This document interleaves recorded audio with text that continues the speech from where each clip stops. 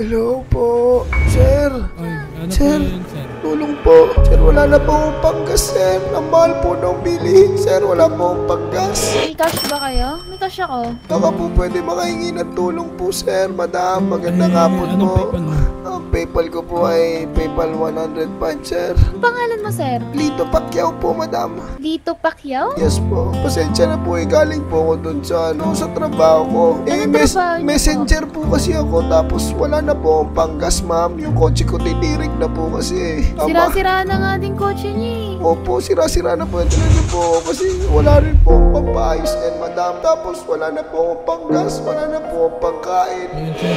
6,000. Baka maka 6,000. may tutulong ko Bigyan na, yan. bigyan kita na. Salamat, yan, sir. sir? Ah, sir, $6,000 malaking Bigyan tulong kita na po. 15k. 15k, okay po. Man, malaking tulong na po yun, madam. Ang babait nila, guys. Madam, ano po bang pangalan niyo po? Sophia Ray Oliveros po. Ma- Ma'am Sophia, maraming salamat po sa 15,000.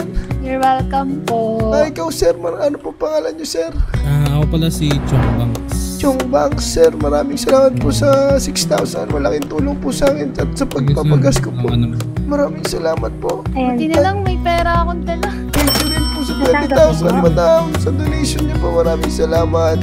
Madam, kasi actually, yung mga binigay niyo po sa akin pera, kulang pa po talaga yan. Eh, kailangan ko po kasi talaga ng malaking pera, madam. Pwede po ba taas niyo po yung kamay niyo po? Madam, taas niyo po kamay niyo po. Huwag po kayong gagalaw na masama, madam. Eh, kasi po yung binigay niyo po sa akin, 20,000 na yan, madam. Kulang pa po sa full tank ko po yan. Mahal na po ng bilihin ngayon eh. O magkano ba kailangan? Ang kailangan ko po, 500 pesos Gcash po ang kailangan ko, madam. 100 pesos Gcash? Hindi niyo po yun ibibigay ngayon, ibabaon ko po ito sa tigiliran niyo, madam. Mahaba po Sir, ito. baka pwede naman pag-usapan yan, Baka sir. pwede pag-usapan. Hindi po natin Baba, pwede babae pag-usapan lang yan, to. sir eh. Babae O sige, sir. pag-usapan natin, madam. 400 na lang po na Gcash, madam. 400? Kung hindi, kung hindi po ibaba. Pa, sir, ikaw, mahaya mo patayin ko to, sir. Wala. Eh, sir, huwag naman, sir. Madam, pasensya na po, pero nangangailangan lang po talaga. Gcash po, madam. Tama po, Gcash po. Gcash? Po. Kasi kailangan ko po ng pera, madam. Kailangan ko, kailangan ko pong gawin to. Pasensya na po, mabuti po akong tao. Pero kailangan, Yung pera kailangan na ko pera. kailangan mo panglabas ah. Pasensya na po kayo, madam. Pero kailangan ko po talaga Gcash, madam. Opo. Kasi, madam, Sige, ano bang- may sakit po ako. Kailangan ko. 400? Opo, 400 po. Baka pwede pang ibaba. Ah, madam, yun na po eh. Sandaan na po yung pwedeng ibaba, madam. Kapag hindi niyo po, madam. Sige, baba at papatayin kita, madam. Sir, sir, huwag naman, sir. Natatakot yung babae, sir. Hindi, mo, sir. Pera talaga. Pasensya na po, pero talagang gutom na gutom na ako, sir. Gusto ko lang po ng pang McDo tsaka Jollibee. Sige, Sige, ah, sir, eh. Gcash? Opo, Gcash po. Ito po, ito, madam. kulang na yung pera ko sa Gcash. 350 lang meron. Naku, bakit 350 lang po? Ayan na po yung Gcash ko, madam. Ala! Madam, kapag hindi binigay sa akin yung 350 na yan, madam, may tawad ka na po na 150, ha? Okay lang 350? Hindi, hindi ko po kayo papatayin. Basta ibigay niyo lang po yung, yung kailangan ko po. Kailangan ko lang po. Talaga 350, madam. Panggas, pangkain, at naman po sa gutom. Hindi, supplyan mo na yan. Ikaw na balay. Wait lang, ito na. Ah, Madam, pasensya na po. Ibigay niyo na po. Nakita niyo na po ba? Sir, wag kayong kikilos sa masama, sir. Itutusok ko to sa kanya.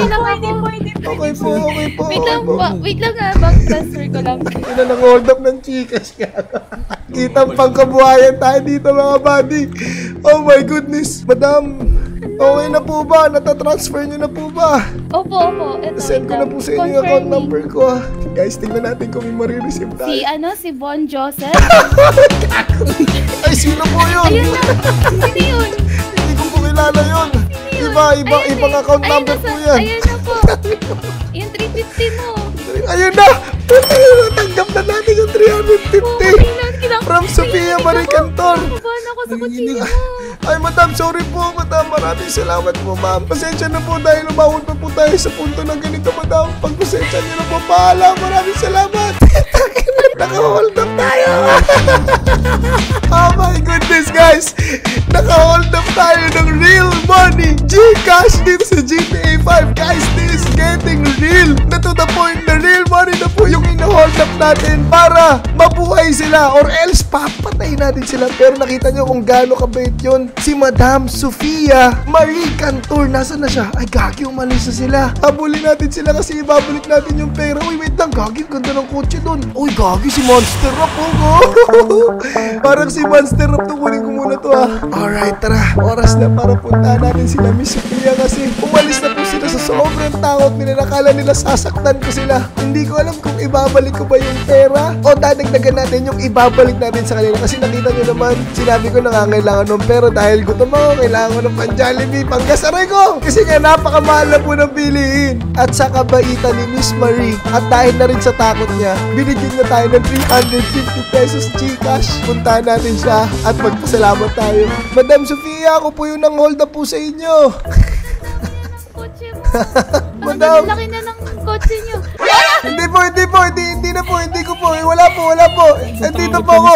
Wala po, itatago ko na po, itatago ko po yung kutsilyo ko. Sa totoo lang po, social experiment lang po yan. Tinitignan ko po kung talagang ibibigay niyo po yung pera na kailangan ko dahil gutom na gutom na po ako, madam. Eh. Pasensya na po dahil tinakot ko po Dapat kayo, madam. ka na lang pagkain sa amin. Eh, nakita ko nga po, binigyan niyo po ako. Eh, sinubukan ko lang naman po kung bibigyan niyo po po ako. Kaya nandito po para humingi pa po ng limandang piso, madam. Magkano? 500? 500 Wala pesos na, hindi po. na kaya, di na kaya. Ay, hindi na po kayo. Sige po, ako na lang po yung mag-aabot po sa inyo. Ibabalik ko na po yung pera niyo, madam. Madam, ano po pang Gcash yun para ibabalik ko po yung inabot niyo po sa akin, madam. hindi ba nag-text sa'yo? Ah, nag-text po sa akin. Okay, ibabalik ko po sa iyo, madam, ha? Ay, ito na po, Miss Sofia Marie. Bibigay ko na po sa inyo yung, yung inabot niyo po sa akin. Sophia Ray, sino si Sophia Marie? Ay, hindi. Yun po yung nakita ko po sa Gcash. Ay, Ayan po, Miss? Sophia Ray na bigay ko na po sa inyo yung isang libo Gcash. Madam, maraming salamat po dahil napakabait niyo po. Uy, thank you, sir. Thank Maraming you po. salamat Ay, din, thank madam, you. dahil Thank kahit you, man-. Ay, kahit man- Pacquiao. Yes po, sila ito Pacquiao po. Pasensya na po, madam ha, dahil tinakot ko pa po kayo. Eh, napakabuting puso niyo po, Sir, madam. pag, ano, Joselito, kung gutom ka man, gusto mo ng treat, punta ka lang HP, libre ko na. Okay po, sige po. Maraming salamat po, madam. Mag-iingat po kayo. Pasensya na, sir. ha? Sir, maraming salamat po sa paggas. Okay po, mag-iingat po kayo, madam.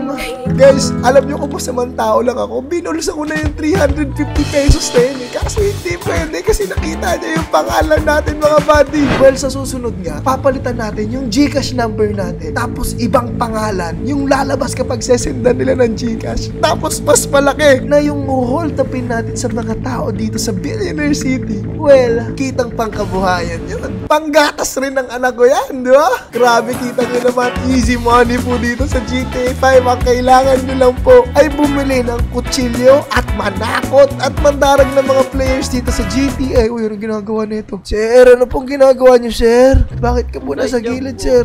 Sir, kailangan ko po ng panggas, sir. Tsaka pangkain. Baka pwede po makaingi po sa inyo ng 200 Gcash, sir. Wala pa akong pera eh. Eh, sir, pag nilabas ko tong kutsilyo ko, sir, mag-aabot ka na ba sa akin ng 500 Gcash, sir? Wala pa akong pera. Wala kang pera, sir. O sige na, umalis ka na, sir. Wala kang kwenta. Magpayaman ka. Tsaka kita hold upin sa susunod. Minsan swerte, minsan malas. Kailangan yung hold upin natin. Siyempre, mukhang mayaman, mabait, at may pusong mamon para bibigay sa atin yung pangangailangan natin. Lalo na't pag nagugutom na tayo, siyempre. Sabi nga nila, kapit sa patalim kapag nagugutom na, di ba? Kaya ngayon, punta muna tayo dito sa burger shot. Pupun trip muna tayo dito. Guys, ang ganda ng pick-up nito. Kutya, parang masarap hold upin to. Target locked. Sa susunod, itong babae na to ang hold upin natin. Madam, ano pong pangalan niyo po, madam? Famous po ata yan sir, di nagsasalita. Ay, famous. Naku, mayaman to. Yari ka sa amin sa susunod.